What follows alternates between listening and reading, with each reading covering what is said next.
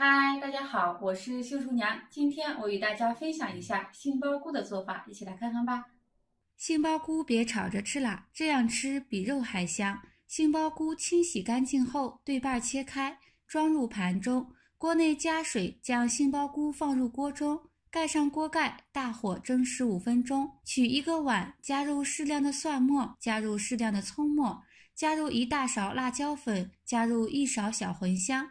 加入两勺白芝麻，浇上热油，搅拌均匀。加入两勺生抽，加入小半勺蚝油，加入一勺盐，加入一勺白糖，滴入适量的柠檬汁。如果没有柠檬汁，可以用白醋代替。再次搅拌均匀，使糖和盐充分的融化。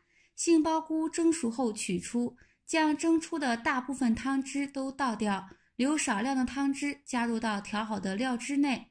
这样料汁的味道更鲜美。杏鲍菇放凉后撕成细长条，装入盘中，浇上调好的料汁，撒点香菜末，翻拌均匀，营养美味、开胃又下饭的红油杏鲍菇就做好了。喜欢的朋友点赞支持一下吧，谢谢大家，明天见。